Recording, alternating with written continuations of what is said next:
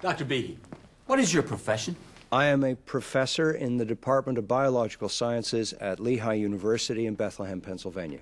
And you're a biochemist? And that's correct, yes. How long have you taught at the college level? Uh, for 23 years.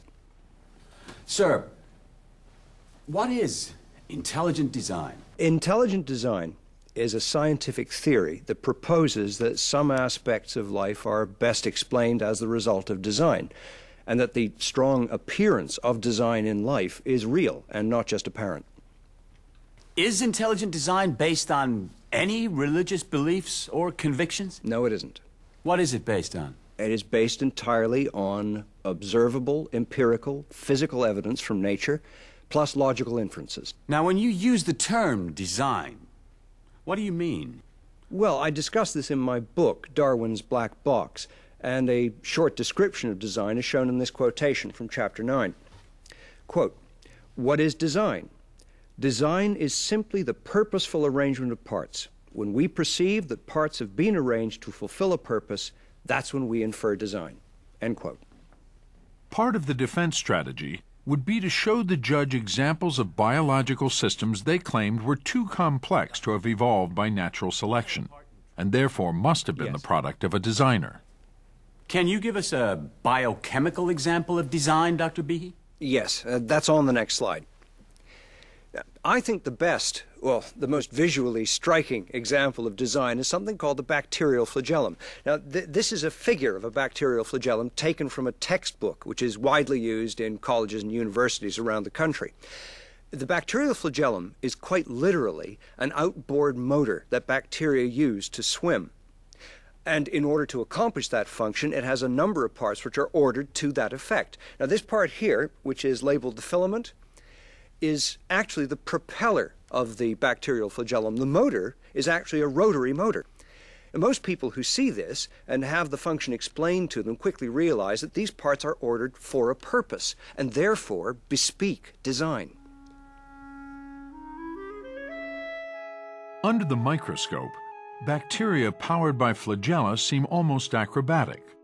They tumble, corkscrew, and pirouette, thanks to that whip-like filament. Driving this propeller is a tiny motor, part of a complex structure made of about 40 different kinds of proteins. The bacterial flagellum looks like a sort of Jules Verne notion of what the future looks like. It has a strange sort of mechanical quality to it, these sort of cogs and waving tails and stuff. And according to Behe, if any one of these parts is missing from the system, the motor can't function. Behe calls systems like this irreducibly complex, a term he coined. And he argues such systems could not have evolved naturally. The idea is that there are certain aspects of life, uh, perhaps uh, organisms or organs or even cells, that in a sense um, could only have uh, come about as a whole.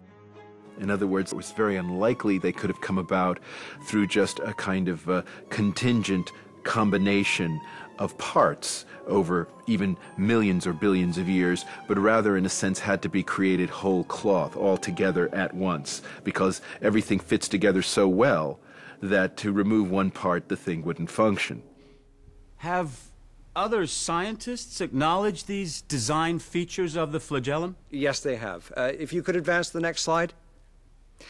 In 1998, a man named David DeRosier wrote an article in the journal Cell, which is a very prestigious scientific journal, uh, entitled The Turn of the Screw, the Bacterial Flagellar Motor.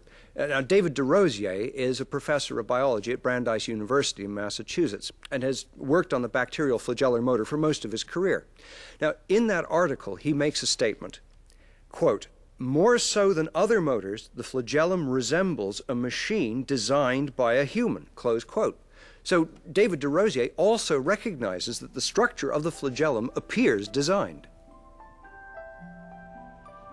What I wrote was, this is a machine that looks like it was designed by a human, but that doesn't mean it was designed. That is the product of intelligent design. Indeed, um, this more has all the earmarks of something that arose by evolution. Using an electron microscope, DeRosier produces ghostly pictures like this one revealing the inner workings of what's been called the world's most efficient motor. This is the drive shaft. This transmits this torque generated by the motor. That would then turn the propeller, which would push the bacterial cell through the fluid. Michael Behe has argued that the flagellum could not have evolved since its parts have no function for natural selection to act on until they are fully assembled. But evidence that refutes Behe's claim of irreducible complexity comes from a tiny syringe that injects poison, found in some of the nastiest of all bacteria. This is a structure found, for example, in Yersinia pestis, the bacterium that causes the bubonic plague. And look at the similarities. Now, this structure doesn't rotate, but it still has to extend this structure, which is equivalent to the rod, the drive shaft here. It has to extend that because it needs this little channel. It's like sort of like a syringe. So the the virulence factors that are made inside the cell, which is down here, can be exported, pushed up into this hole, and exported out through this long kind of needle, perhaps into a, cell in your body or mine, and thereby create misery. And it turns out the two structures look similar for a reason. The syringe on the right is made of a subset of the very same protein types found in the base of the flagellum on the left. Though the syringe is missing proteins found in the motor and therefore cannot produce rotary motion, it functions perfectly as an apparatus for transmitting disease. So, if we think about uh, what it means to be irreducibly complex, the argument is that if you take away even one of these proteins that the structure uh, cannot function.